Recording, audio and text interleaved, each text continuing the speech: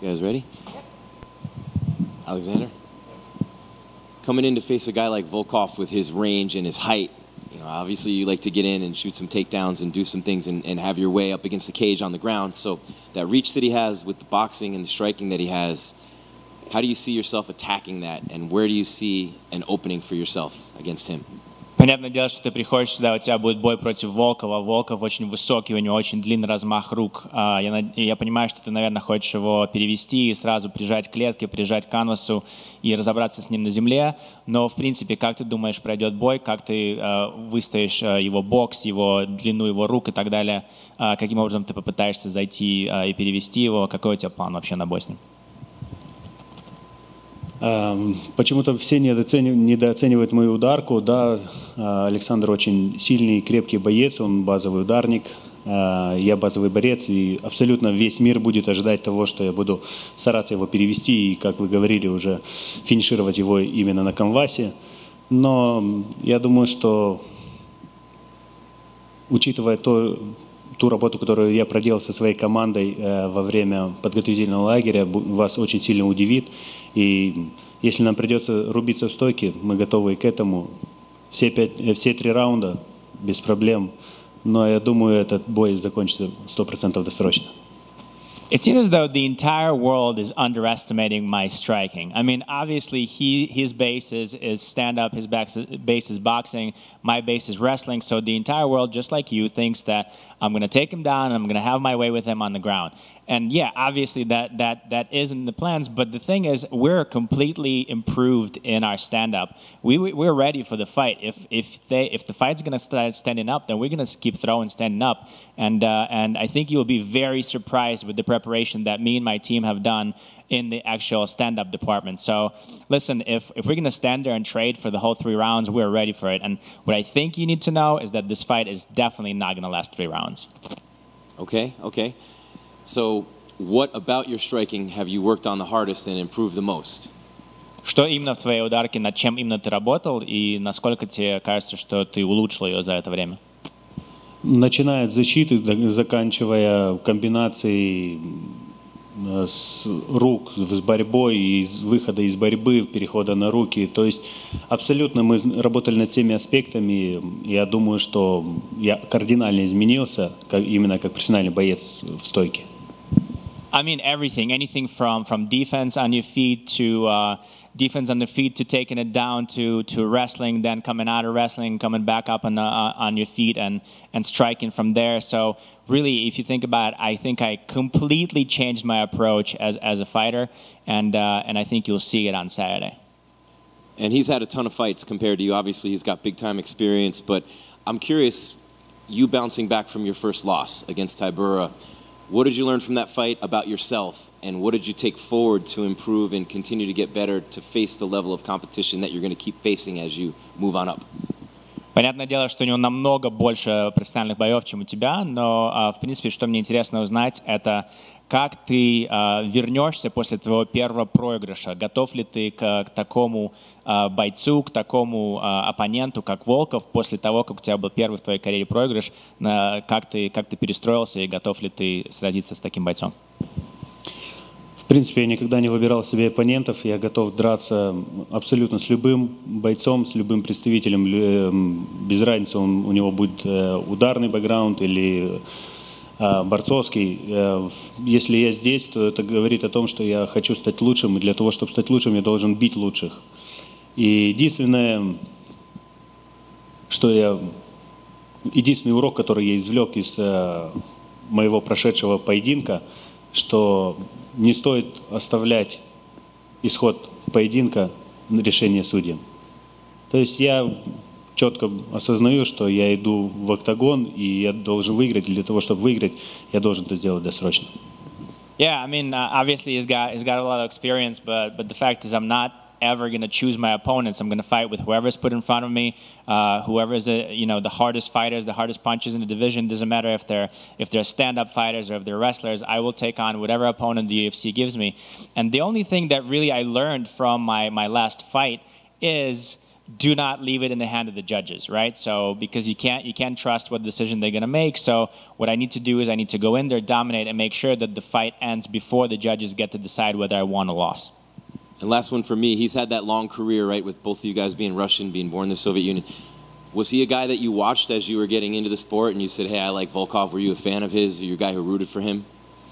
А, Понятное дело, что у него очень длинная карьера. А, Вы оба русские, вы оба родились в Советском Союзе. А, Смотрел ли ты за его карьерой до тех пор, пока ты стал сам бойцом, и видел ли ты его, как он выступал, а, как продвигалась его карьера до того, как тебе пришлось вот сейчас его с ним биться?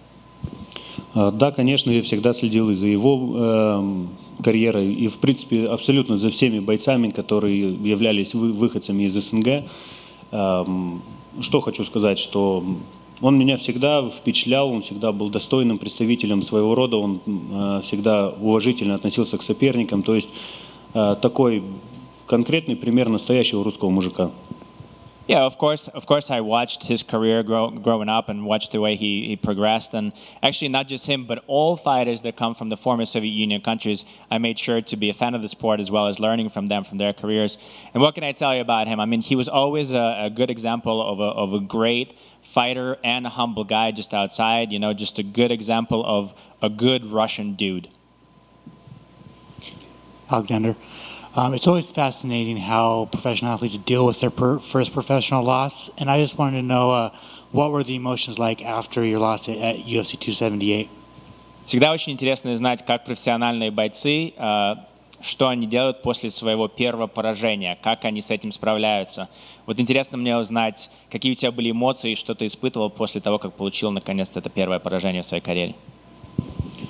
Ну, я считаю, что абсолютно каждый боец со мной согласится, неважно, это твое первое, второе или пятое поражение. Поражение, оно всегда горькое, но зачастую одно поражение может тебя научить гораздо большему, нежели 100 побед. Yeah, obviously, I think a lot of fighters will agree with me that no matter if it's your first loss, second loss, fifth loss, they're always bitter. Nobody likes to lose. But I really think that even one loss can really teach you a whole lot about your career, even more than the wins.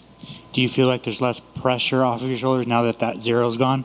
Как ты думаешь, у тебя теперь меньше давления после того, как уже этот нолик с твоего рекорда убран? Теперь уже не так много давления. А этот нолик вообще никакого давления на меня не оказывал. Мне абсолютно было безразлично на этот нолик, потому что я к этому всему отношусь как профессионал. А, Дорога профессионального атлета всегда чередует э, поражения с победами. На все воля Божья, все в его руках. Моя задача всего лишь тренироваться как можно усердней. А как будет дальше, уже все зависит от нашего Всевышнего. That zero really never had any kind of pressure on me or on my career. You know, uh, that's not. uh, If you look at all professional fighters, they always go uh, hand in hand. You got victories and you got losses. So uh, really, all I can do as a professional fighter is keep improving, keep training, and everything else is the is the in the hands of God, right? Whatever God decides, whatever God has written for us, that's what's going to happen. All I can do is keep improving and keep pushing forward. We haven't really haven't talked to you since that uh, fight at UFC 278, but did the elevation from Utah play a factor into your gas tank?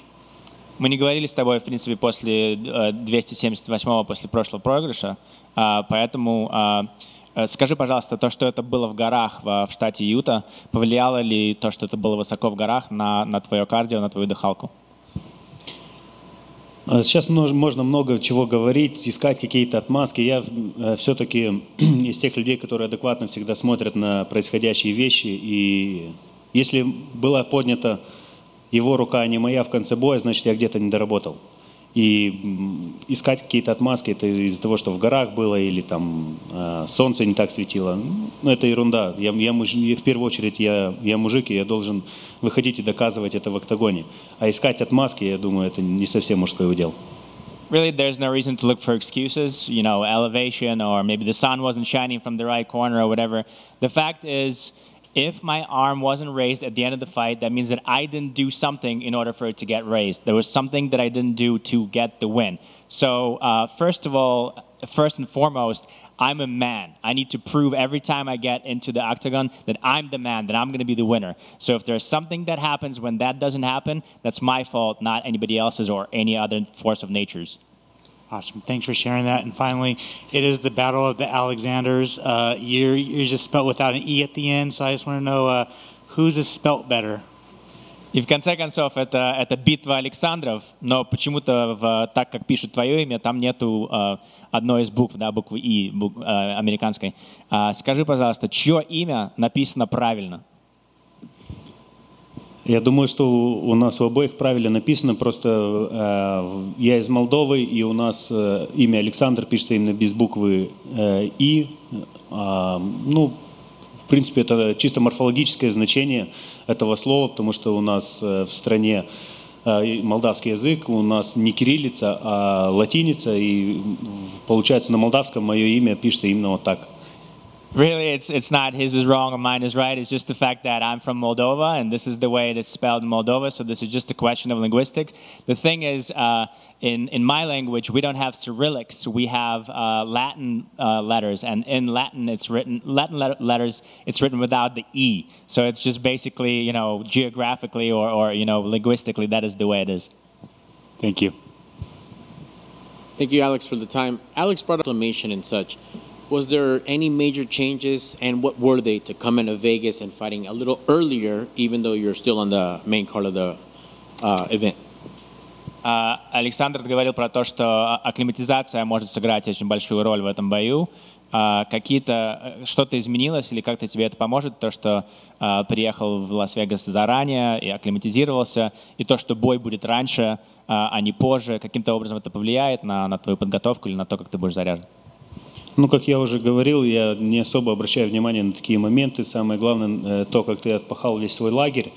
Эм, Я в Вегас прилетел всего лишь два дня назад, а до этого я завершающую свою подготовку проводил э, в Балтиморе в клубе Rising Tide Академия. И, в принципе, я чувствую, что я акклиматизировался, чувствую себя замечательно, четко вошел в климатическую зону, четко вошел во временные пояса. То есть чувствую себя замечательно, отлично, в хорошей форме. То есть нет каких-то таких эм, травм, которые бы помешали мне выйти в субботу в октагон и показать себя во всей красе.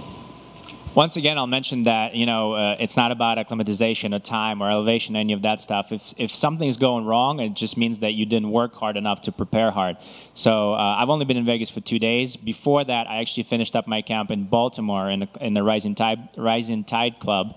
Uh, but I've only been here for two days, and I feel like uh, you know I've acclimatized fine. I I'm good with the with the time change. I'm I feel good. I don't have any kind of injuries that could prevent me from coming out on Saturday and being in top shape of my of my life of my career. So I feel really really ready. I've prepared, and uh, I can't wait for Saturday. Excellent. Thank you, sir. And last for me, there's a new king in your division. Just your thoughts or opinions on John Jones and his performance this past weekend at T-Mobile. В нашем дивизионе новый король, в твоем дивизионе новый король, поэтому, э, если можешь, просто поделись своими мыслями насчет того, что э, Джон Джонс теперь чемпион, и то, что он вернулся, и вообще, как это влияет на, на дивизион и тебя.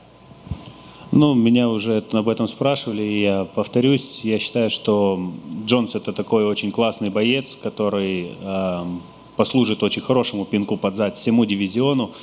Это заставит абсолютно каждого бойца э, тренироваться еще усердней, становиться еще более разносторонне развитым. И для меня это тоже очень хороший вызов, очень хорошая возможность э, доказать, что я достоин быть э, в числе лучших планеты в этом виде спорта. Так что, пользуясь случаем, хочу Джонса поздравить и сказать, что молодое поколение наступает на пятки. Yeah, I think it's great. I mean, I, I've said this already. I've been asked about this. I think Jones is, a, is an awesome fighter, and him coming back is a great swift kick in the ass for the entire division, for all of us to train harder, to train much more uh, specific, to work on all of our all of our styles, to be more well-rounded, to to get up and train and train. And uh, you know, if I could if use this opportunity, I'd like to congratulate him with becoming a champion. And I think him being here is a great opportunity to also for myself to show that I belong here, that I deserve to fight with the top of the top in this organization and in the world. So uh, I think nothing nothing is bad about him being here. I think it's great. Excellent. Thank you, sir, and good luck on Saturday.